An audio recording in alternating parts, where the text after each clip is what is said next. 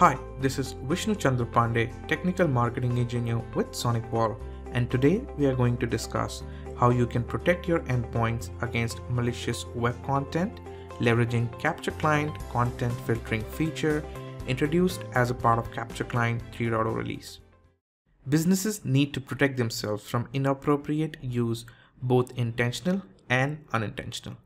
With that in mind, there has to be a degree of control over what you allow on workplace computers, which is where content filtering comes in. With content filtering in place, you can restrict access to sites that are known to propagate viruses, malware, phishing, and spyware. Effective content filtering system will protect your business from any liabilities should a staff member access any copyrighted material intentionally or unintentionally.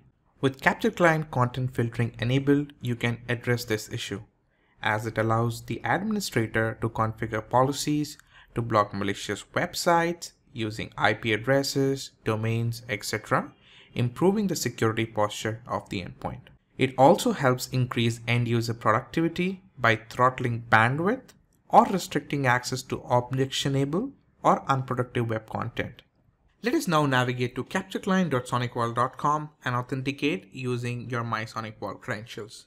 Post successful login, you will land on Capture Client Management Console, a single pane of glass to manage your endpoints, view, and remediate threats. Let us now switch to an endpoint which has Capture Client installed, but the content filtering policy not enforced yet. As you can see, I can access websites such as social education, media, movies, etc. To showcase content filtering, let's create a more restrictive policy and enforce it on the endpoint in just a few clicks. Capture Client content filtering allows granular control including blocking categories or applying custom rules such as search keywords, domains, and URLs. You can also apply a schedule to the policy and enforce it for specific duration during working hours.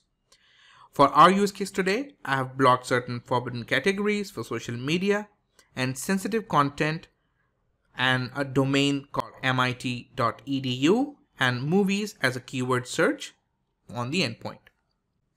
Let us switch back to the endpoint and see that in action. As you can see, Facebook is blocked and alert is triggered to the user that the social content cannot be accessed. Let us do a keyword search for movies and see whether it gets blocked or not. As you can see, it gets blocked and the user is alerted. For a detailed summary, you can navigate to web content filtering section on the Capture Client console that is there on the endpoint. Similarly, if you try accessing mit.edu domain, the user is blocked and a message is flagged. All activity will be logged on Capture Client console dashboard and also available under events for further actions and review. You can either export it based on time filters or whitelist any activity for any exceptions that needs to be added.